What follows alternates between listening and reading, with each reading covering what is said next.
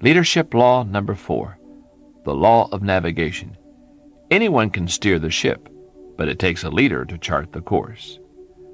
In 1911, two groups of explorers set off on an incredible mission. Though they used different strategies and routes, the leaders of the teams had the same goal to be the first in history to reach the South Pole. Their stories are life and death illustrations of the law of navigation.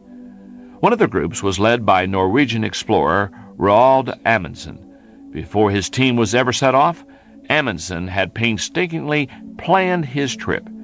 He studied the methods of the Eskimos and other experienced Arctic travelers, determining that their best course of action would be to transport all the equipment and supplies by dog sled.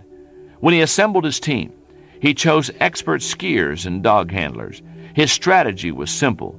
The dogs would do most of the work as the group traveled 15 to 20 miles in a six hour period each day. They would allow both the dogs and the men plenty of time to rest each day for the following day's travel. Amundsen's forethought and attention to detail were incredible. He located and stocked supply depots all along the route.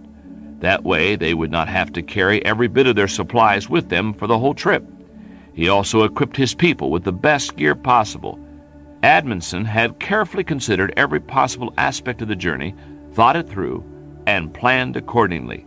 And it paid off. The worst problem they experienced on the trip was an infected tooth that one man had to have extracted. The other team of men was led by Robert Falcon Scott, a British naval officer with previous Antarctic exploration experience. Scott's expedition was the antithesis of Amundsen's. Instead of using dog sleds, Scott decided to use motorized sledges and ponies. Their problems began when the motors on the sledges stopped working only five days into the trip. The ponies didn't fare well either in those frigid temperatures. When they reached the foot of the Transantarctic Mountains, all the poor animals had to be killed. As a result, the team members themselves ended up hauling the 200 pound sledges. It was arduous work. Scott also hadn't given enough attention to the team's other equipment. Their clothes were so poorly designed that all the men developed frostbite.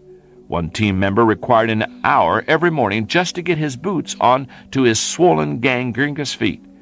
And everyone became snowblind because of the inadequate goggles that Scott had supplied.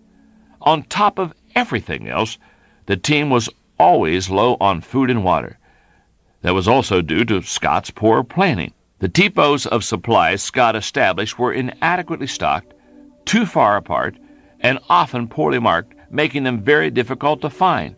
Because they were continually low on fuel to melt snow, everyone became dehydrated. Making things even worse was Scott's last minute decision to take along a fifth man, even though they had prepared enough supplies for only four people.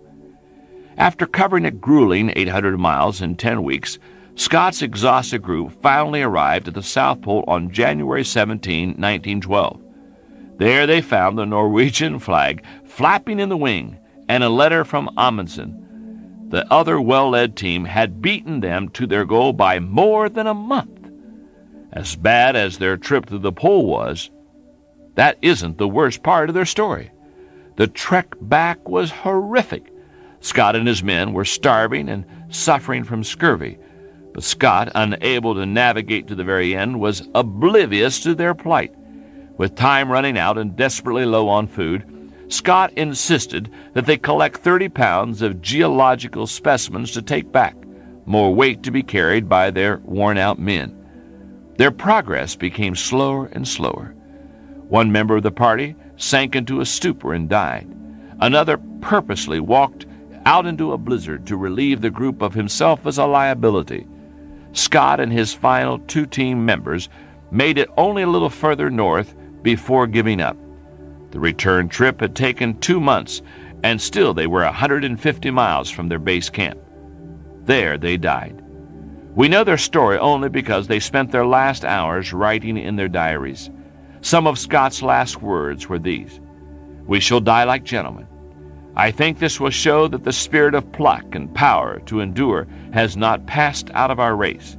Robert Falcon Scott had courage, but not leadership.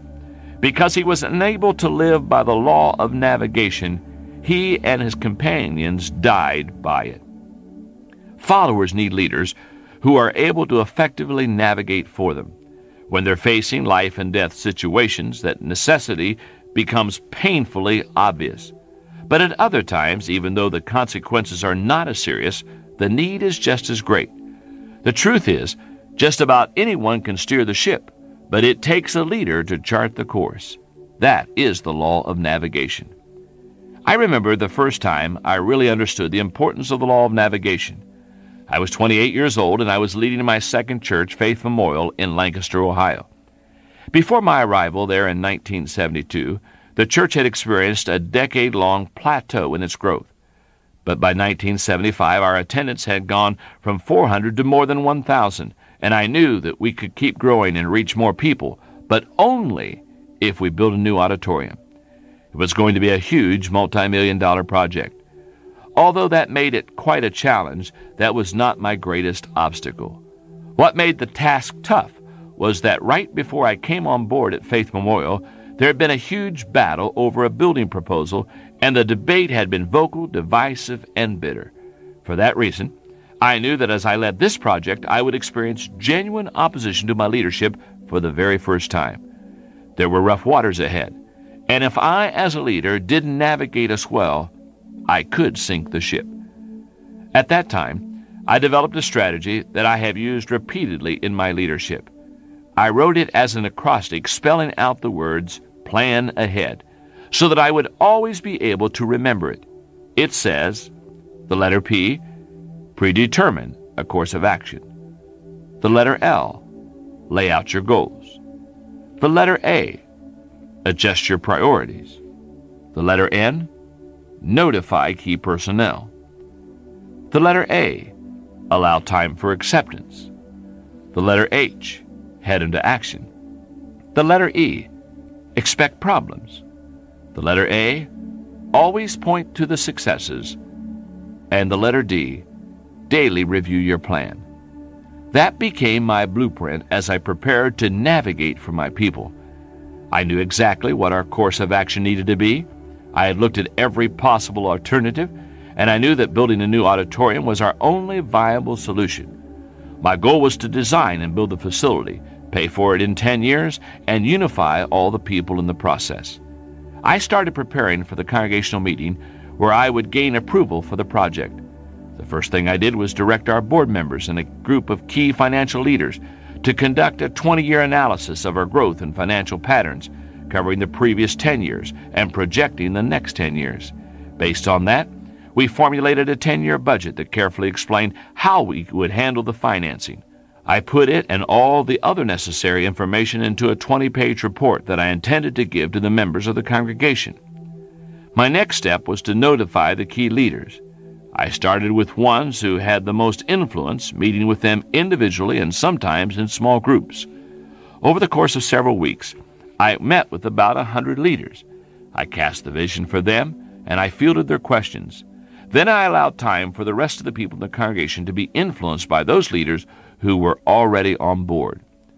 When the time rolled around for the congregational meeting, we were ready to head into action. I took two hours to present the project to the people. I handed out my 20 page report with floor plans, financial analysis, and budgets. I tried to answer every question the people might have before they had a chance to ask it. I also requested that some of the most influential individuals in the congregation speak about the project to the people. I had expected some opposition, but when I opened the floor for questions, I was shocked. There were only two questions. One person wanted to know about the placement of the building's water fountains, and the other asked about the number of restrooms. That was when I knew that we had navigated the tricky waters successfully. When the final count was tallied, 98% of the people had voted in favor. That was a wonderful learning experience for me. Above everything else, I found out that the secret of the law of navigation is preparation. When you overprepare, you convey confidence and trust in the people. Lack of preparation has the opposite effect. You see, it's not the size of the project that determines its acceptance, support, and success. It's the size of the leader. That's why I say that anyone can steer the ship, but it takes a leader to chart the course. And if you're a good navigator, you're capable of taking your people just about anywhere.